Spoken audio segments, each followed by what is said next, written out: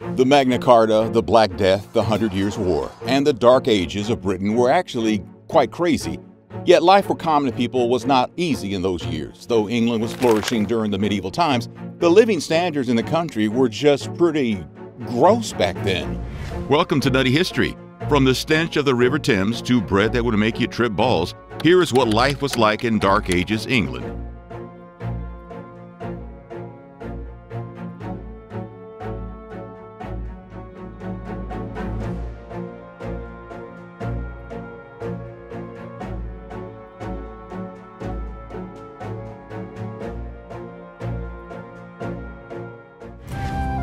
A piss poor prescription. Even though the Middle Ages happened almost a thousand years after the basic development of medical science in Greece, there wasn't much progress in between when it comes to the science of healing. It was still based on the work of Greek physicians like Galen and Hippocrates, and religion played a big part in the healing process, calling it the divine regulation. You know what else didn't change much in those thousand years? War. In fact, one could argue that there was more warring in the Middle Ages on a regular basis than the bloodshed that occurred during antiquity. More warring means more battles, and more battles meant more casualties and wounded people. But it had become a common practice in many areas of Europe, like England by then, to have physicians ready to tend to wounded soldiers on the battlefield. However, unlike the modern doctors, these doctors didn't have a lot of gear packed in a bag to carry to the battlefield. In fact, as doctors were pretty much exclusively men back then, they came equipped with the tools to sterilize wounds as soon as possible. We're not saying ladies wouldn't be able to do that, but you'll see why here in just a second. Yes, we're talking about the urine draining organ in the human body. Doctors would just whip out their tools and pee on the wound to stop it from festering. Of course, it was gross, but it worked. Urine is heavily rich in ammonia, which is a pretty good sterilizing agent. It would keep cuts from getting infected. This was a time when most of these cuts were a matter of life and death, so that much indignity was worth it. The doctors probably carried canisters of water instead of medical kits to field duty during those times. Fresh urine was also used to treat sores, burns, bites, and pretty well anything you could think of as an ailment. Would you let one of your friends pee on your wound? Can I just pee on my own wound? Let us know in the comments. Vampire fish dessert. So let me ask you something. Do you know how King Henry I of England died in 1135? Gluttony. The man may look lean and slightly undernourished in his portrait, but boy, he could eat. He had a peculiar taste for a certain delicacy as well, and that's what caused his death. On his deathbed, his chronicler, Henry of Huntingdon, proclaimed that the king had passed away from a surfeit of lampreys. Now, if you don't know what a lamprey is, look at it now. Believe it or not, that thing doesn't come from space. It is very much a Mother Earth's child and commonly known as the vampire fish. This bizarre fish is an extreme predator that tends to latch onto its prey and eat away their host by burrowing inside them. Oh, God, I could barely get that out.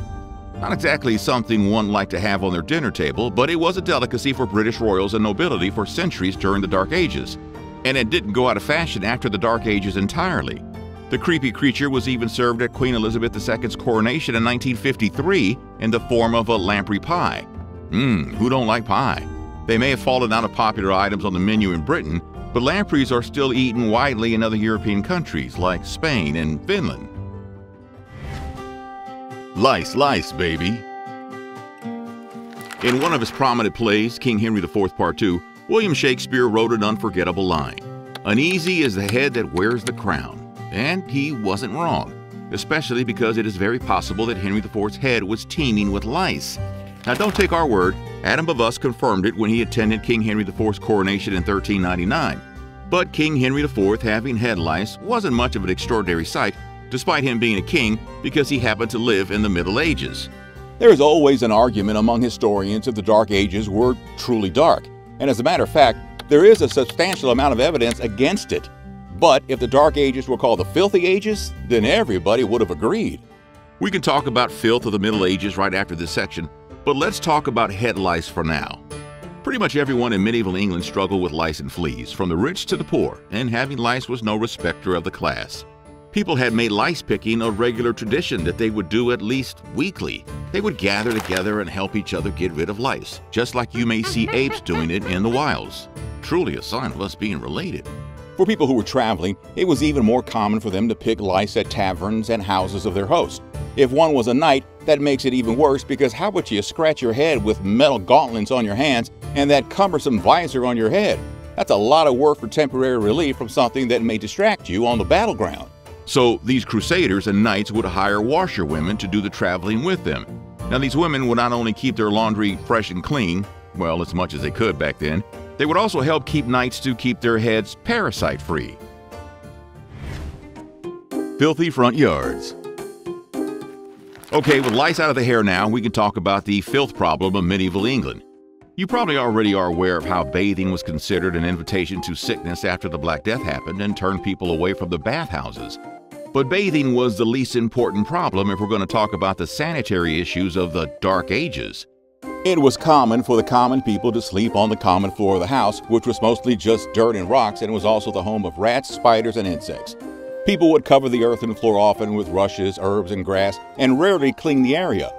One Dutch visitor complained that English homes were harboring expectoration, vomiting, the leakage of dogs and men, ale, dropping, scraps of fish, and other abominations not fit to be mentioned. Now, if you think the insides of homes were dirty, let's talk about the front yard.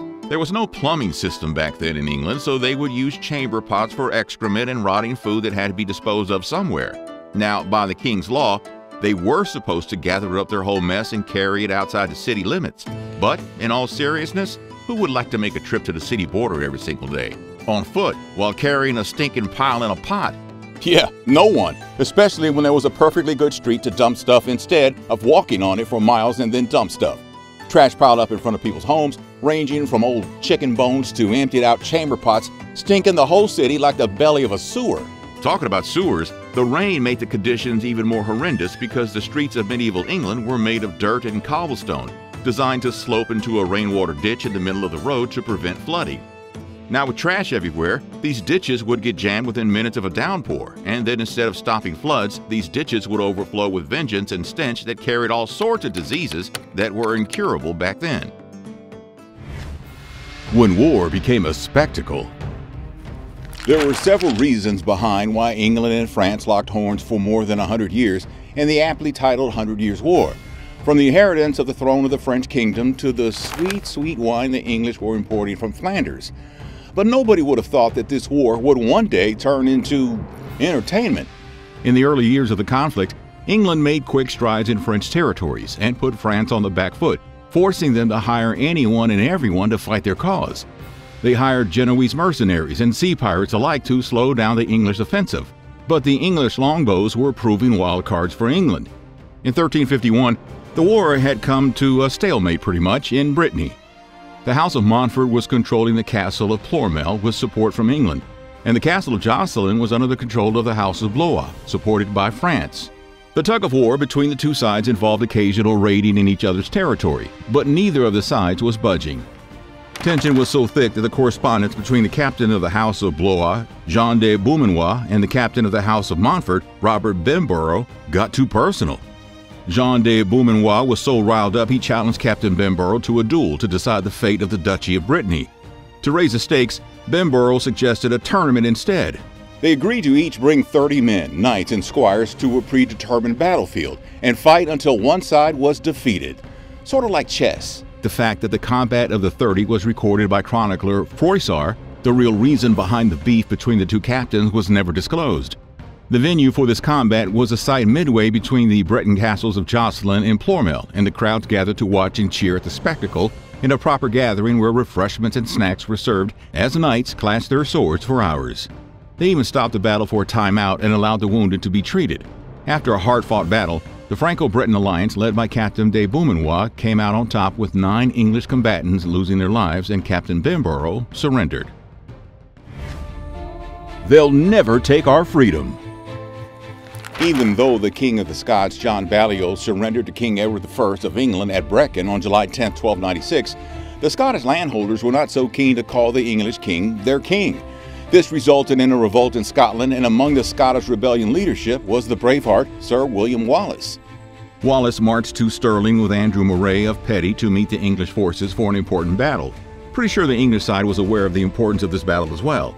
Led by the Earl of Surrey, The English tried to negotiate with the rebels, but Sir Wallace was adamant about fighting despite the English side having 2,000 cavalry and 7,000 infantry, in comparison to the Scots, who only had 300 cavalry and 5 to 6,000 infantry. And yet, the English made a comedy of errors out of the battle. When Wallace's response reached the English camp, they immediately charged across the River Forth to meet the Scots. But then they realized that their leader, John de Warenne, 6th Earl of Surrey, wasn't with them, the Earl was still sleeping at the camp, so the English retreated. The Scots cut a part of their army at Stirling Bridge, and all of a sudden the English lost their advantage. Nearly the entire English vanguard was eliminated brutally, while the rest of their army helplessly looked on. It is said that after victory, the Scots desecrated the body of the English second in command, Hugh de Cressingham, and distributed pieces of his skin as souvenirs to the soldiers. Hallucinogenic bread. The 16th century physician Paracelsus made a profound remark about what is poison. He said, All things are poison, and nothing is without poison. The dose alone makes a thing not poison. Agriculture was still a very weather dependent industry back in the Dark Ages, and the preservation technology for crops was also bare minimum. So the crop management was entirely dependent on hopes that grain wouldn't go stale or get infected before the new crop was ready at the end of the summer. If it did, then they had to resort to using old rye, which is often infected to make bread. Rye kernels usually get infected by ergot, a purple talon-like outgrowth that got its name from the French word argot, which means cockspur, as the French found the outgrowth reminiscent of a rooster's spur. When ergot-infected grain is milled into flour and consumed, a whole host of troubles arise. Convulsions and seizures, vivid hallucinations, often of demons or animals, a restriction of blood flow to the extremities, followed by a falling off of gangrenous limbs. Poor English people had to often consume that bread to survive the remainder of the summer during the Dark Ages, and there was no means to control the dosage because it was part of the most important component of all three meals in a day. I mean, you gotta have your bread. Ergot was used by the Eleusinian Mysteries cult in a controlled dosage for the initiation ceremony of new members in Greece. Male fashion was poking out. In the Middle Ages, expanding trade led to a host of new fashions, most of which were accessible only to the very wealthy. From bob-ass sleeves to the pointy hat of Robin Hood to even pointier clown-like shoes, there are lots of medieval English trends that may make you facepalm. But there was one particular item that outright challenged the age of modesty in the face. Apparently, leaving something to the imagination was out of trend in the 14th century, and fueling people's imagination was in. The most controversial item on the fashion list of the 1300s was a doublet called a court piece. It was a teeny tiny piece of cloth that only drooped down two inches below the belt. Men would wear nothing but their undergarments with it, which were basically leggings of the 14th century. But also, these leggings were the tightest and thinnest, giving lookers a good silhouette to figure out what's there underneath, and tailors were asked to make the bulge look as prominent as possible.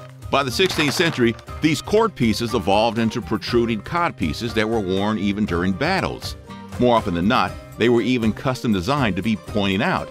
The poster boy for bulbous extensions was, of course, none other than Henry VIII. You can visit the Tower of London to see a portrait of Henry VIII with his codpiece in all its glory. I believe they called it crotchus bulbus. Modesty fashion trend. While men expressed their masculinity rather profanely with court pieces and cod pieces during the later years of the Middle Ages, women were expected to be the idols of modesty. In fact, most of their clothing was divinely regulated by the Bible. The social classes were considered assigned by the gods, and one had to dress according to their social status. A serf should dress raggedly as a serf would, and queens must dress like a wealthy queen should. Still, that doesn't mean one was allowed to be gaudy. I mean, even in prosperity, one was supposed to follow the teachings of the Bible and dress with a sense of modesty. The hennin hats gained popularity among women pretty quickly after Marco Polo brought one from Mongolia. In Genghis Khan's Mongolia, hats were the only item that was different for genders in an otherwise homogenous clothing system. The shape and design of hennin hats also matched the trend of plucking eyebrows and forehead hair that women were doing. Physicians believed back then that female body hair must be a sign of humoral imbalance, meaning that something must be wrong. So to save shame, they shaved it all the same. I'm over here rhyming. Hennin hats work best with this look to showcase those large foreheads, but the Christian leaders like Friar Thomas found the fad extremely immodest and thus against the religion. He even asked his followers to yank the hennin hats off women if they found someone wearing them. Well, that's all for today. Tell us in the comments what else about the Dark Ages would you like to know. Thanks for watching Nutty History, and do share, like, and subscribe if you enjoyed the video and would like to see more videos like this one.